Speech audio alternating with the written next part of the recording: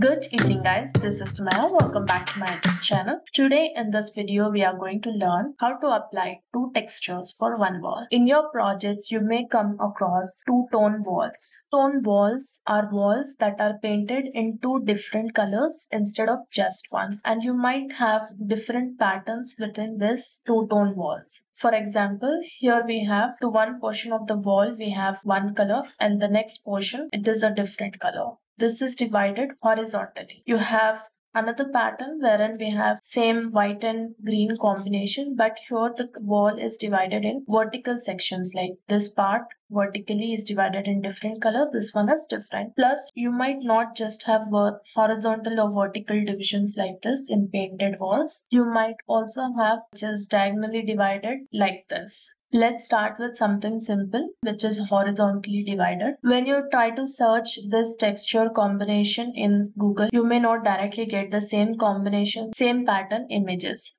That's why it's better if you create one. To create your own textures, you can use Canva. If you don't know Canva, that's not an issue because it's very easy to use Canva. You can make your account in Canva and log in. Okay. When you are in Canva, select presentation. Okay. Here we'll be making this pattern, which is horizontally divided. Okay. So for that, we'll go to elements and type shape. Here you have different shape options. See all. Select this one. Okay. Once selected, position it on the corner and scale it to exactly half. Okay. Then you can select again. Here you have color option. In the colors here two scales. One is this one for different colors and one for different gradients. Okay? Not just this you can even add directly the hex code. If you know the hex code of your texture you can copy that hex code and paste it there. I have this excel sheet of the hex code. I'll choose something from here. I have pearl white. Copy this hex code paste it here. Okay? Top wall is completed. Now for the bottom i will just control c control v and scale it properly here I will choose something in green. Again green you can go to color. Here select this one and here you can change the gradient of the color. Okay or if you have the hex code you can choose the same. Once this is done you can save your file as texture, share, download, download it in PNG and down. This is a texture which we made. Okay now we will go to the DIALux. We'll make a small room. Go to room. To import that texture go to material, create texture material, select your material file, open. Okay material type it's painted then apply material. See though the material is applied it is not scaled properly okay? There are two ways you can scale the material. First way is that before applying the texture itself control z. Here you can change the height and width of the texture okay? Suppose if i keep 3 and 3 and then apply material. See it got applied exactly the way we need it. Okay? This is your first way. Second way is that when you apply the material if it is not properly scaled you can select the material. When you select here in the positioning you have width and height. You can manually change it here. Height 3 width 3 5 whatever you need the value you can give it manually here. Okay? So this way you can apply two colors for one wall okay Easy, simple. Now, suppose if, if we had a vertical division of the paint, something like this. This side is more wider, green section is little bit narrow. Okay.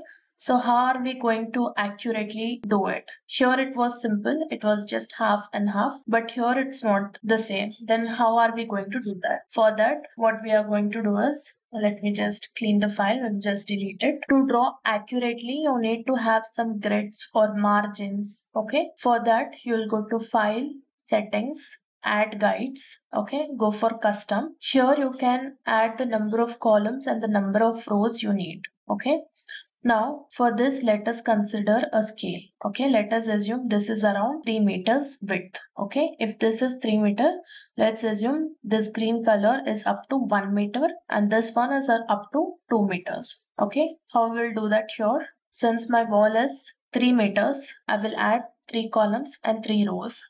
Okay, and the gap in between both should be 0. Here also it's 0. Add guides. Okay, clear? Now again, go to elements. In the shape, choose rectangle. And as I mentioned you, this one we are considering to be only of 1 meter, right?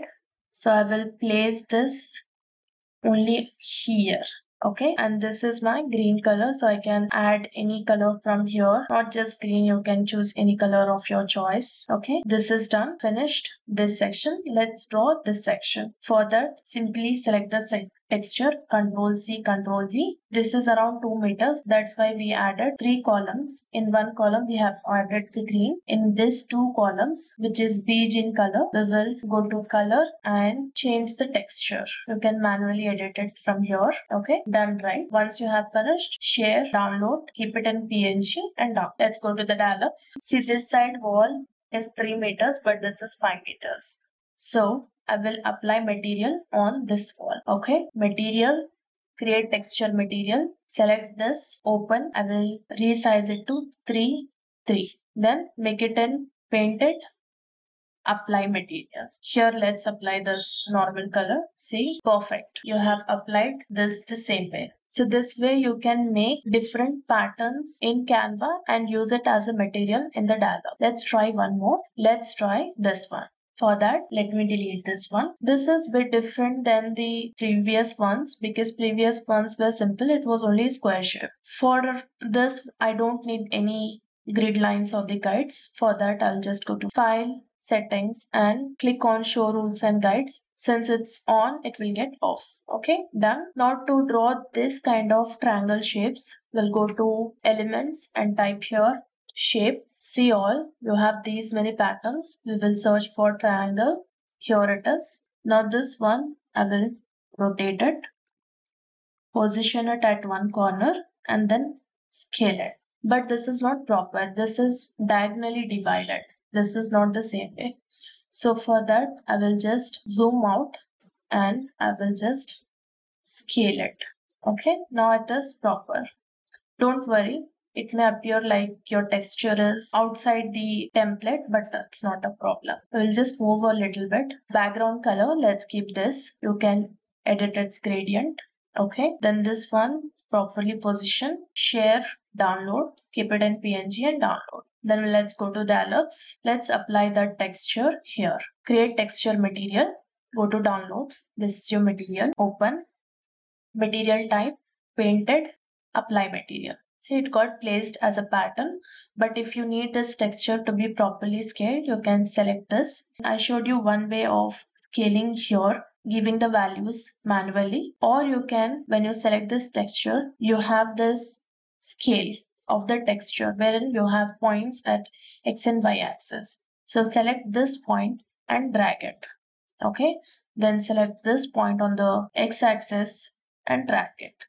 See, this way your texture got properly scaled to the wall. This is how you make two-tone wall or color pattern wall in the DIALux. Let me just quickly apply some lighting, run the calculation and show you the results.